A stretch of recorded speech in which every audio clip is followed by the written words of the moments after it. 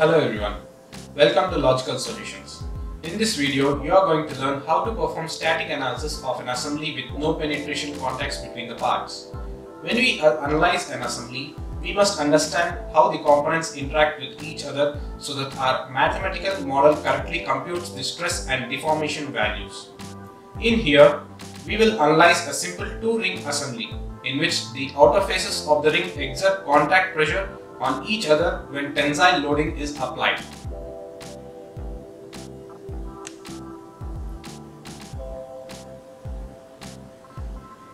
Let's create a static study and name it as pressure loading.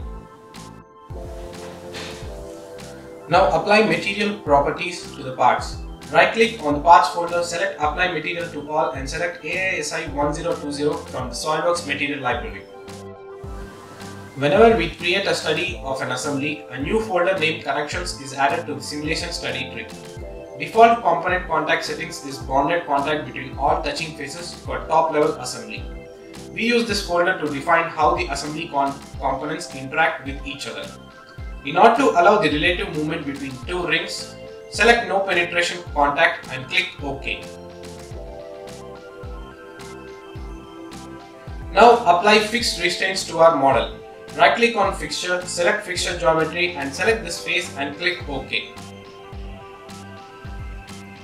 Let's constrain the U bracket to move in the direction of the load. Right click on the fixture, select advanced fixture, click on use reference geometry, select the three cylindrical faces for applying boundary condition. Select plane 2 to specify the direction of restraints, activate the displacement components along plane direction 2 and normal to the plane. Select the value to 0 and click OK. Now we are going to apply loads.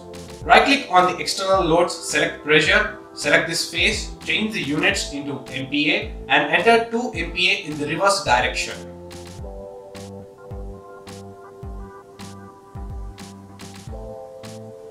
A fine mesh is necessary to predict accurate contact stresses. Let's apply mesh controls. Right click on the mesh, select apply mesh control. Select this cylindrical face, enter 2 mm as element size and click OK.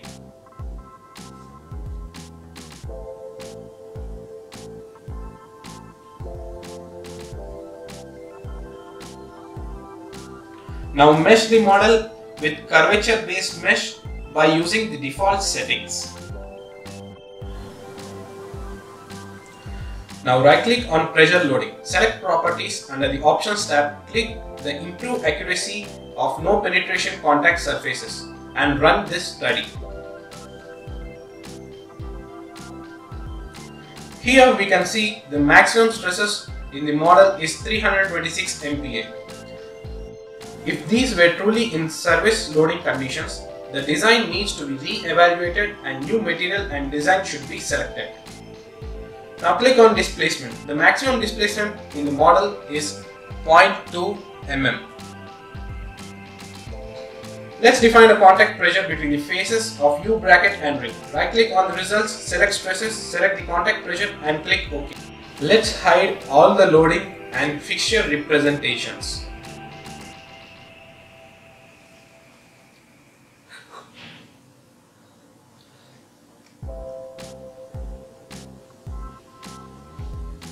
Here the vectors are showing very small. So increase the size of the vectors for better viewing. Right click on the stress plot 2. Select vector plot options and enter 400 as size. So friends, this is all about the static analysis of an assembly with no penetration contacts.